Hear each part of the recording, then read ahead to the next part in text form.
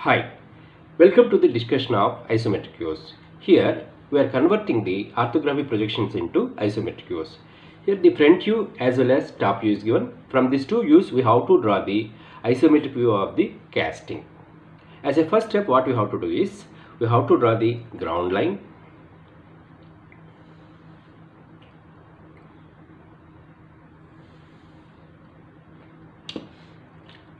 after that locate a point then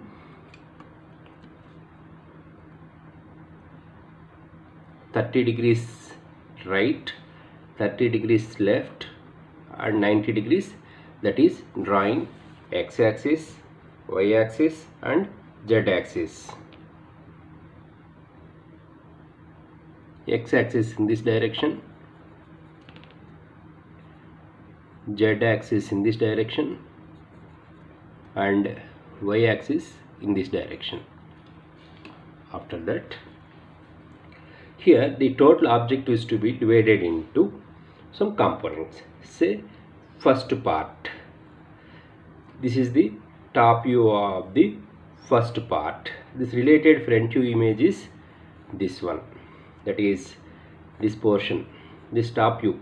This particular rectangle and front view this is the related front view the measurements of the first part are total length 75 and breadth 50 and height 12 then this is the second part. Second part length is 20 and breadth is 25 and height is 25 this is the related second part. That is 20 is the length 25 is the breadth and 25 is the height. Then third part. This is the third part. Third part length is total length 75 minus 20 minus 20 that is 75 minus 40 that is 35 is the length and breadth is 25 and height is this slant line. This is the related third part information. After that here we are going box method for drawing individual components. As a first step we first will complete the first part. Length of it is 75 that is with the given 75 as a length.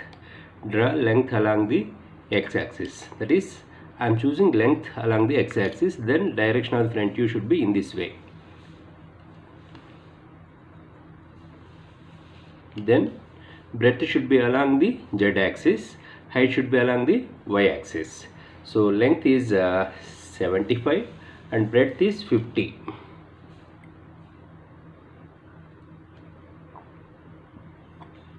breadth is 50 and height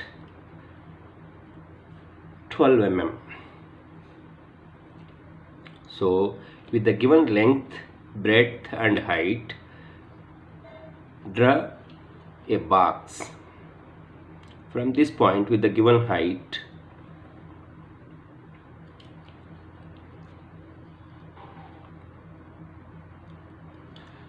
here also from this point with the given height.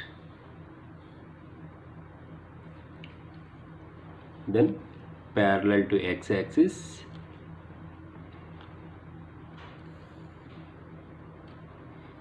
parallel to z-axis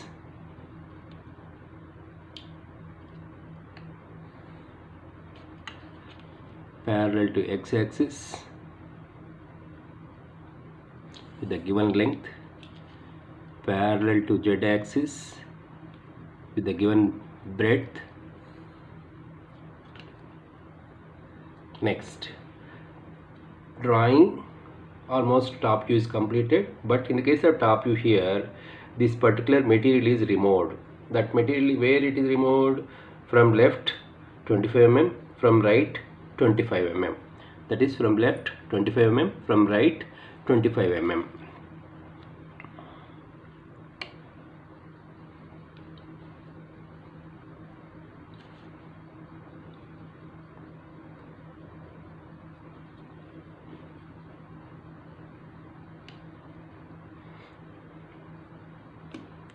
here this removed material looks like a line here here also line. So that's why we have to draw the vertical line.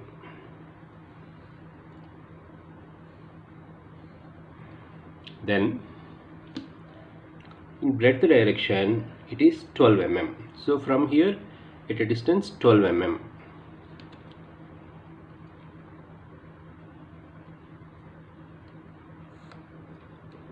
Here also 12 mm and then parallel to x-axis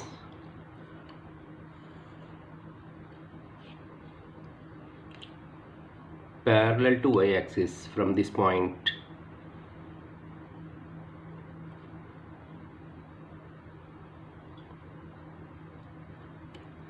Then parallel to z-axis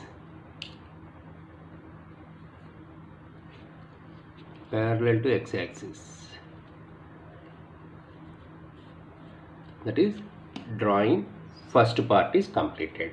Then second part where it is it is right hand side here right hand side extreme corner here. So lengthwise 20 so from here we have to take length 20 and breadth 25 that means from breadth direction 25 length direction 20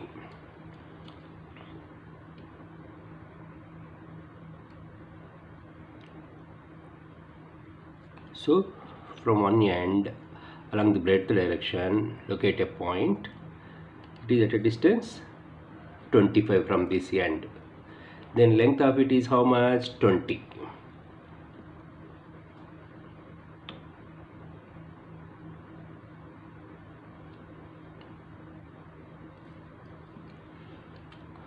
so point and length line that is 20 mm is located then draw a line parallel to breadth that is z axis. So top view of the second part is completed. This is the top view of the second part. To this what we have to do is we have to add the third dimension that is height. How much it is? 25 that is parallel to y-axis from four corners. Draw height line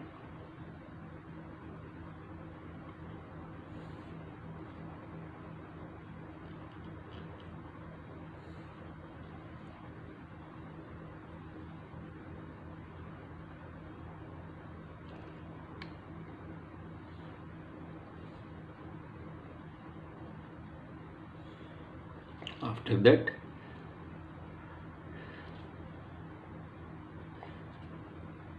parallel to x-axis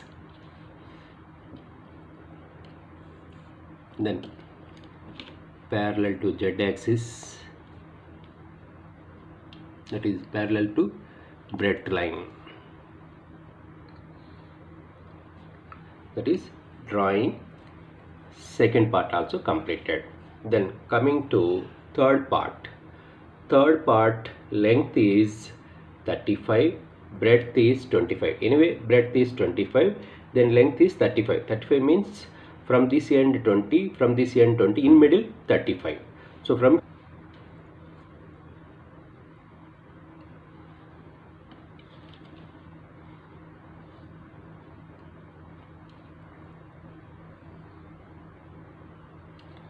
here this is the top view image. But in front view it looks like a slant line. That means this point and this point to be joined together.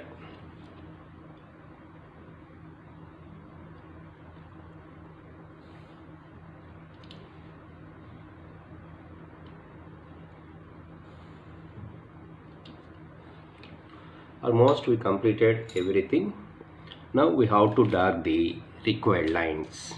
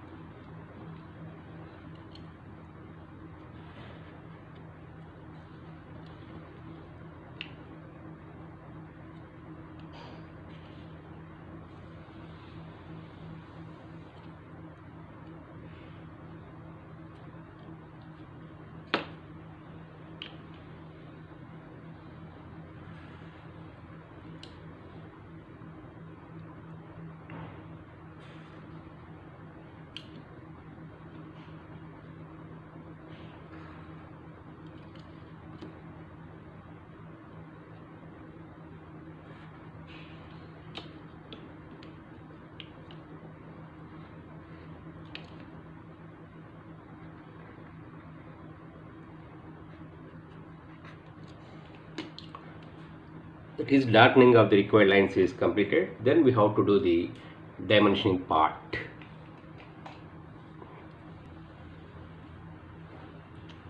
That's about converting two-dimensional drawing into three-dimensional drawing. Even dimensioning also completed.